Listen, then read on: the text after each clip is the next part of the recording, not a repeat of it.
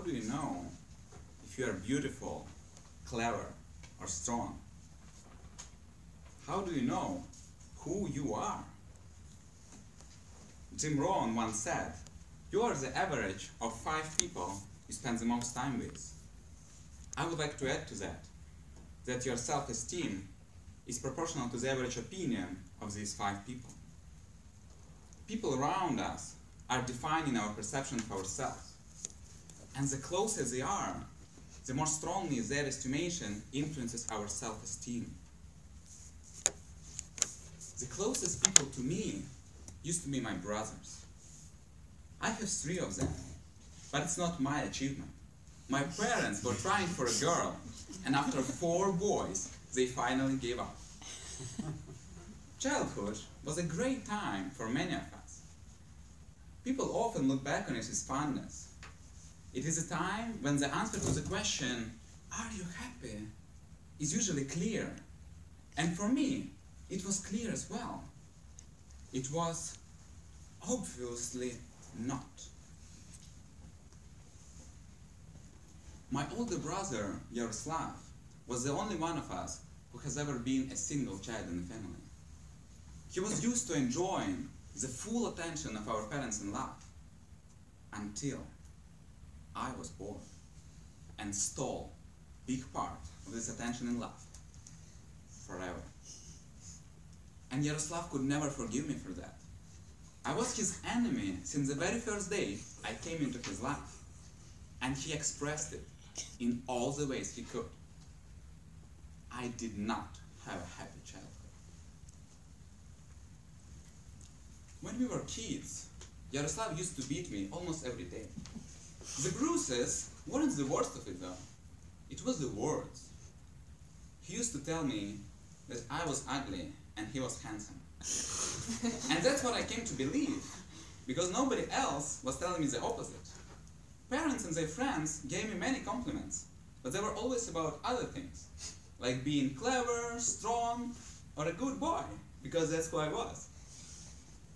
A man in my country is not supposed to be good looking. It doesn't matter if he is or not. So nobody was talking about how I looked. Nobody. But my older brother. My image I had of myself used to be the following clever, but ugly. You can imagine what consequences it had on my life. I was a very shy and closed off kid. I did not have many friends. There was a girl in my class I liked a lot, but I never told her. Even though we were studying together for seven years, many of them sitting at the same table. Moreover, I had no girlfriend until the age of 18, and not many since then.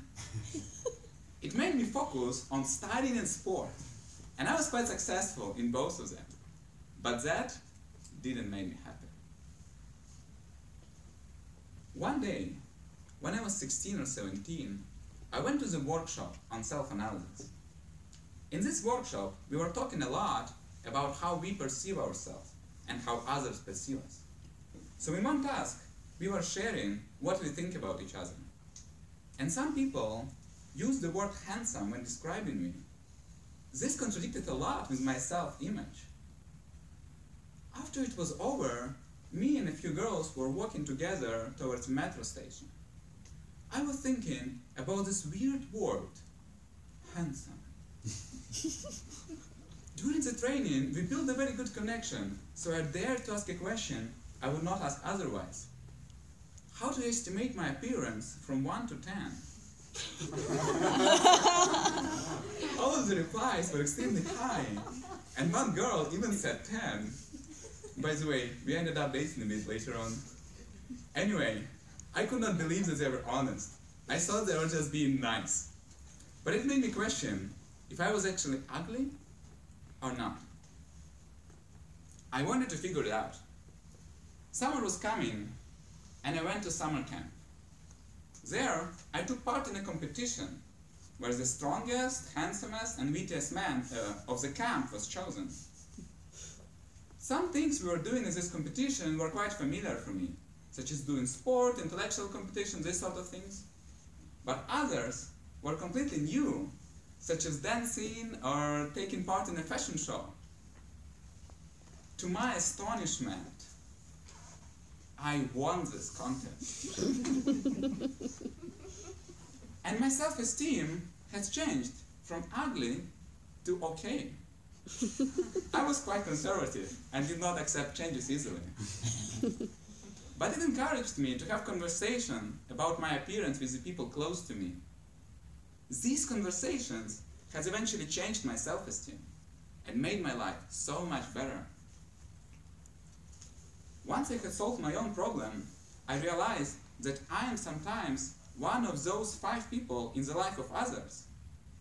So now I see it's my responsibility to help them with their self-esteem. My younger brothers also have problems with their self-esteem. Now I'm trying to convince them that they are as awesome as I am. or at least as they think I am. It takes quite some time, but I think we are getting there. And they have started to believe in themselves. And I will keep on helping them in that. We've got the power to change people's lives by changing their perception of themselves.